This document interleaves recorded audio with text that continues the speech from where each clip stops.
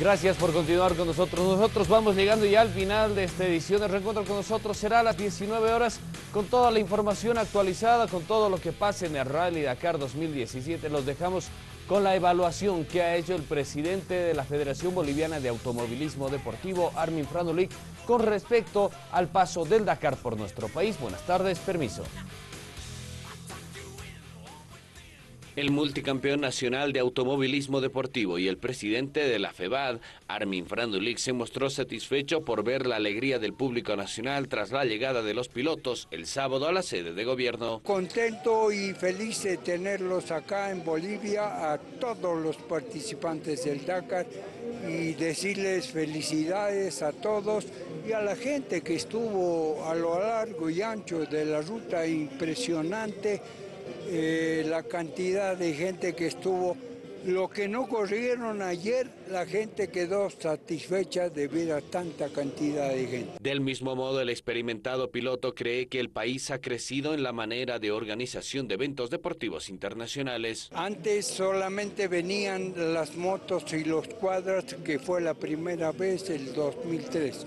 Luego vinieron las motos, los cuadras y los autos. Después, el año pasado, vinieron todos, incluyendo los camiones. Hoy podemos decir que hemos demostrado, no solamente este año, sino los anteriores, de que sí podemos tener un evento de esta naturaleza aquí en el país. Se tiene gran confianza en que los representantes nacionales lleguen a la capital bonaerense al final de este rally. Bueno, estuve hablando con algunos de ellos o con la mayoría deseándoles lo mejor de, la, de las suertes para este evento y decirle que lo vamos a notar en el automovilismo boliviano a lo largo del año que estamos empezando. Están manejando realmente muy bien y esperamos verlos al final de su llegada a Buenos Aires. Franuli confía en el desempeño del cruceño Happy Peredo que debuta en la prueba y considera que el resto de los pilotos experimentados van por un buen camino. Happy, estuvimos con él, con su padre, eh, está en otra categoría, le falta muy poco para ser el puntero, pero creo que lo va a lograr.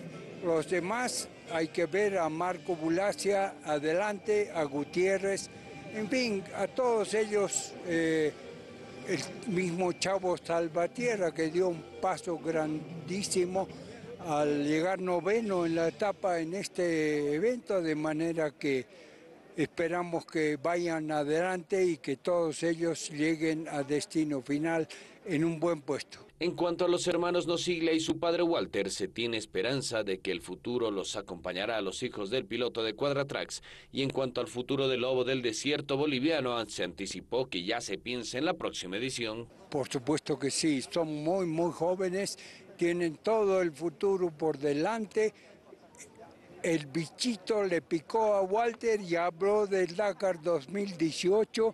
Ojalá que sea así eh, siempre en los últimos años ha cumplido años durante la realización de este evento, como lo hizo hace poco, cumplió 55 años, si no me equivoco, de manera que vamos a seguir el Dakar hasta su final. Con la sabiduría y la experticia que se tiene en los trazados de ruta, se adelanta que aún habrá alguna etapa difícil. En territorio argentino hay una etapa de mucho calor no solamente para los nuestros, sino para todos.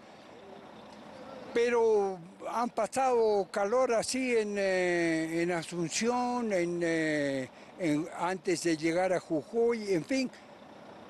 Es gente que aguanta todo de manera que los podemos ver aquí en el frío de Oruro, de La Paz, que no nos ayudó mucho el clima, pero todos ellos eh, nuevamente felicidades.